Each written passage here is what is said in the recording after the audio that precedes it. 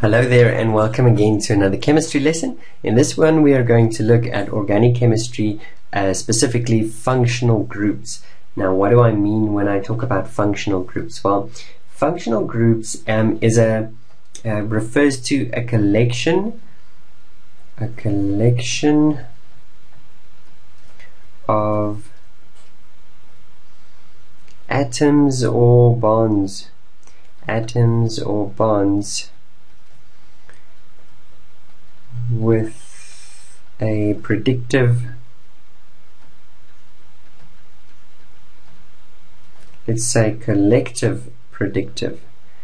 Collective predictive chemical behavior. Okay so for now this might sound uh, somewhat like what do you mean? Okay but basically what we're trying to say is that it's a collection of atoms and if these atoms um, uh, bond in a certain way then we can expect the following chemical behaviors. Like for example um, is it a liquid at room temperature? What is its boiling point? Um, um does it increase? Um, uh, when there's more of these bonds, things like that. Okay, so um, the definition isn't that important. What is important is that you know the different types of functional groups that we get.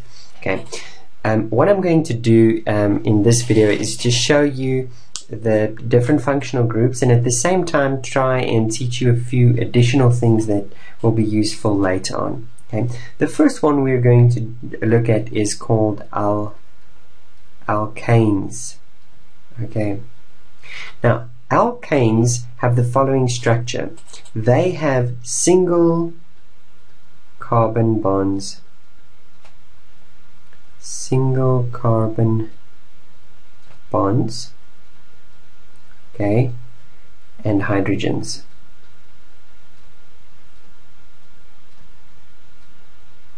Okay, so basically, if I were to show you the general form, we would have a carbon connected to a carbon, connected to a carbon, connected to a carbon, okay, and uh, and so you can see each carbon and then each carbon already has two four valence electrons. So it's got another four there and these additional ones will all be connected to hydrogens okay? So these will all be connected to hydrogens. And this is a general form for alkanes. Okay alkanes will end on the suffix okay? It will end on the suffix a n e okay and then just to give you an example so let me give you an example here. An example is methane. Methane, um, okay, let's actually do ethane. Okay. Ethane has two carbons and therefore it has six hydrogens it's called ethane. And the first thing I will uh, want to add here additional is that the ETH we will always use when we are working the eth prefix. We will always um, use when we're working with two carbons. So there's two carbons in the longest chain so it is called ethane. Okay. The general formula the general molecular formula is for every carbon that we have, we will have twice as many hydrogens because look here, each carbon has at least two hydrogens. So there will be two times as much hydrogens, but then the carbons at the ends, the, and since there's only two ends, the carbons at the end will have one additional each. So there will be additional to. So for example, uh, C3H 3 times 2 is 6, plus 2 is 8. C10 if you want H22 double and add 2 these are all examples of molecular formulas for types of alkanes okay. Alkenes the next one. Alkenes alkenes has at least at least one double bond double carbon bond.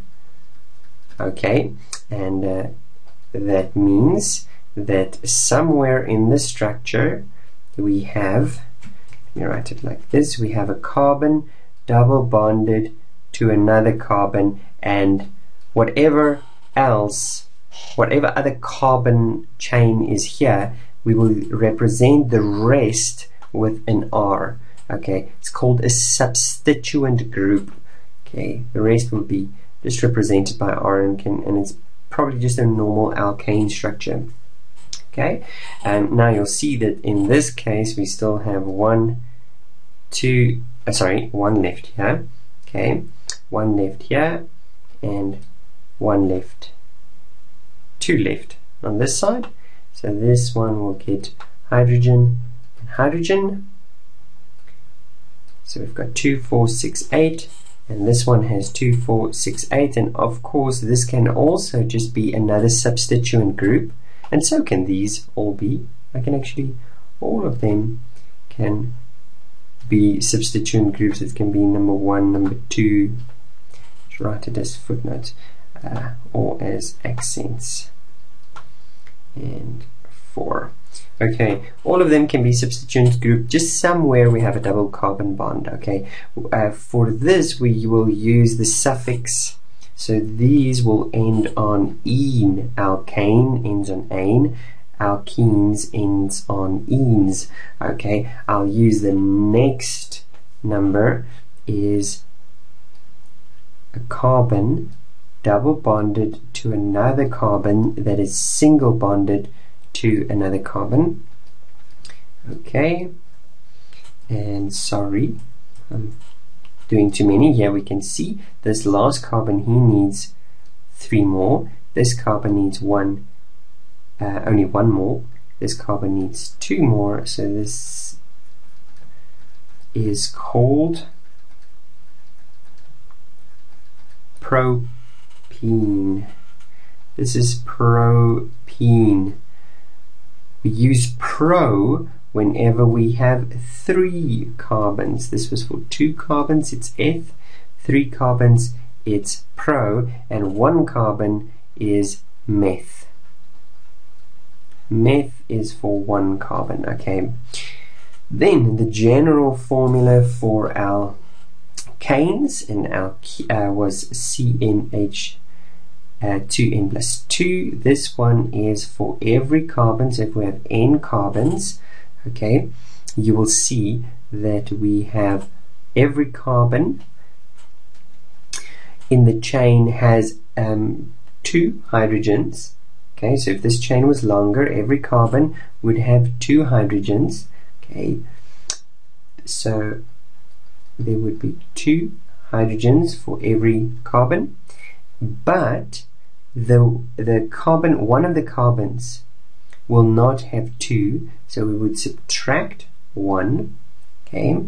But then the carbons at the ends we would have added one and added one okay? But now this one we wouldn't have added it at all so we would have only added that one because this carbon only has two where it used to have three, the one on the end, he only has two now. So we only need to add one. We subtract one because there's one carbon in the uh, middle part of the chain that doesn't have one. And then we add one because there's a carbon at the end. So this is a plus one there. So because of that, those two just cancel one another. So the general formula is for every carbon there's two hydrogens. Okay, so this is uh, more examples. This specific one is carbon 3, hydrogen 6. Okay, another example might be carbon 7, hydrogen 14. Okay, these are different represent uh, or molecular formulas for alkenes. Okay, the last one of the hydrocarbons that we are going to look at, and um, uh, I'm using a word I know you don't know, but I'll explain it in a minute, is the alkynes. Okay, an alkyne functional group, and, and I don't think I've mentioned it, but this is a functional group. Alkanes is a functional group. Alkenes is a functional group. Alkynes is a functional group. Um, so this one is triple bonds, at least one triple carbon bond. Okay, so somewhere in the structure I've got one carbon sharing three of his valence electrons with another carbon and um, that means he's only got one valence electron left that he's going to share with a constituent group and this one will share his extra valence with a constituent group. Again constitu constituent group is just a, a, a, number of bonds between carbon and hydrogen or it's just the hydrogen. Okay, it can represent either an alkene structure um, more correctly referred to as an alkyl okay a l k y l. An alkyl is a branch that looks like an alkane. Okay a branch that looks like an alkane is called an alkyl. But more about that later. Don't worry about it now. I shouldn't mention it. Confuse you. Okay alkynes get guess what their suffix is? Okay. I N E. Okay. That's why they're called alkynes okay the, um, an example that I'm going to show you is the example of butane. So if I have one carbon connected triple bond connected with another carbon but butane has four so this would be like that. This one still needs three hydrogen hydrogen hydrogen. Sorry I seem to be going skew. Okay. This one still needs two hydrogen and hydrogen. And this one you can see he's got all four. And then this one only needs one. Okay. And that is called butane. Butane. Okay. Now the bu but but is used for four carbons. Okay then we use but. But okay and what would be the general molecular formula? Well for every carbon you would notice each carbon has two hydrogens. Okay and we'll get to this the one on the end just now but everyone has two except this one has none so if I sorry this I shouldn't two there in so every hydrogen uh, carbon will have two hydrogen but then we must subtract this one. He we should subtract two for him and for this one we should subtract one. And then for this last one we should add one because he didn't just have two he had three so we should add one. So this plus one and negative one cancel again so that here's my general formula. And you can see each time um, alkanes had um, for every carbon there was two hydrogens plus two. For alkenes there was two hydrogens only so we just subtracted two. And for alkynes there's two hydrogens minus two okay? Because each time we are losing two hydrogens because the bond that we used to have between two of these hydrogens that used to be here and here that bond is lost. Okay?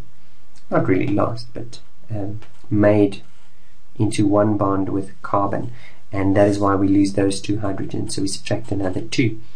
Okay all these are called the hydrocarbons. Can you guess why they are called hydrocarbons. They're called hydrocarbons because they are um, uh, molecules molecules consisting